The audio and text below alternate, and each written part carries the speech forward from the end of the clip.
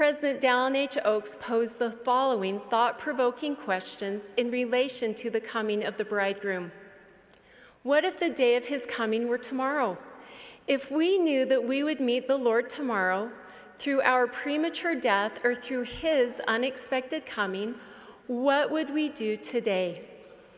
I have learned from personal experience that spiritual preparation for the coming of the Lord is not only essential, but the only way to find true peace and happiness.